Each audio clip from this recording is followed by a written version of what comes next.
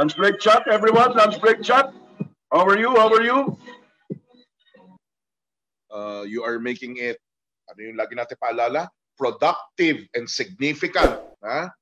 Uh, sayang ang biyaya ng bagong araw, bagong buhay sa atin kung hindi productive and significant ang uh, araw sa atin.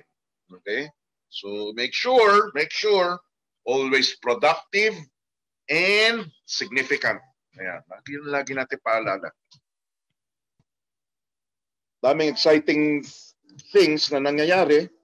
Uh, hopefully maging productive, uh, significant, uh, sa ating mga araw-araw na gawain. Okay. Yung ano natin ha, pinopromote natin kahapon. Actually, matagal na. Dami na. Dami ng uh, dito. Dami ng uh, sa call this. Kumukuha. Pagkiligin nyo to, konti pagkakakitaan. Ha? Eh, biro nyo, kung yung katulad kayo nung isa, nakaka 10 boxes a week. 10 boxes a week, 6,000 pesos a week, 24,000 pesos a month. Oh. Daming natutulungan nito, kaya ako gines niyo si Michelangelo Dobrig. Ha? Yun sa six, sa 3,000 pesos mo, kumita ng uh, ah, 20%. Eh kung uh, kung uh, yan eh bumabalik sa iyo every month, 20% a month ang kita ng pera mo kung nabebenta mo lahat ng isang box. Ha? Ang dali lang magbenta. Hanap ka lang lagi ng sa Facebook nyo. O, ilan ang kaibigan nyo sa Facebook? Sabi ng Facebook, average of 300 to 500 mga kakilala mo talaga sa Facebook. Pero yung may bumili lang sa inyo ng uh, ah, 80 kada buwan, 80 kada buwan, may extra 24,000 kayo. Eh, yung 80 tao na yun, times 2, twice a month bumibili sa inyo. Oh. Ito tama ba? Sabi ko. 24 times 4. 48, 48 plus 48. 96 katao. May 100 katao lang kayo na binibentahan nyo lagi ng uh, suka, 150 pesos per bottle. 24, 25,000 a month extra. Oh. Mga opportunity. Simple lang. Of course, sipag, tiyaga, uh, pukpok, tutok, para meron pagkakitaan. Oh, Ate Bibian, masarap po talaga. Ako, uh, hindi po dahil uh, uh, nagbebenta tayo.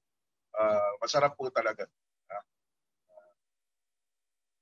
itong uh, Sinkisuka. Artisan kasi siya, natural siya. Natural.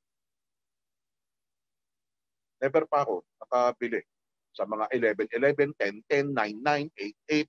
Eh, bawat uh, duktong nung uh, buwan at araw naman eh, lagi may sale sila eh. Again, be a smart, planned spender. Don't be an impulsive buyer. Ang dali, lalo maging impulsive buyer sa panahon ngayon. Dahil uh, thumb, thumb mauling lang ngayon, eh, di ba? Ganun-ganun lang tayo ng thumb natin sa cellphone. Ayan, oo nga pala, sa practical, naka-sale din, ha? Uh, again, buy only if you need. Buy the best that you can afford. Sana tinutuloy-tuloy nyo uh, inaalam, uh, pinagdidesisyonan, ginagawa, mga bagay na makakaputi, makakaganda sa ating sarili, sa ating kapwa, sa ating kapaligiran, sa ating bansa, sa mundo, uh, mga bagay that are within our control. Kaya miski na hindi kagandahan ang nangyari nitong 2020, eh, uh, we will still end 2020. Not probably with a bang, but uh, something better uh, than uh, what most of us thought 2020 uh, will be. Okay? Sana tuloy-tuloy kayo. Yung mga nag-exercise, gumigising ng maaga. Okay? Yung ask me anything uh, with AQB, AMA, uh, Sinadya kong ihinto yun eh. Tinitingnan ko kung hahanapin si Glenn Chavez lang ang merong gusto nun. AMA. Lalo na ah, within our control. Po tayong masanay gumawa ng dahilan kung bakit ah, ah, hindi tayo productive, hindi significant ang araw natin o gawain natin. Marami sa mga kabuti, makakaganda ay within our control.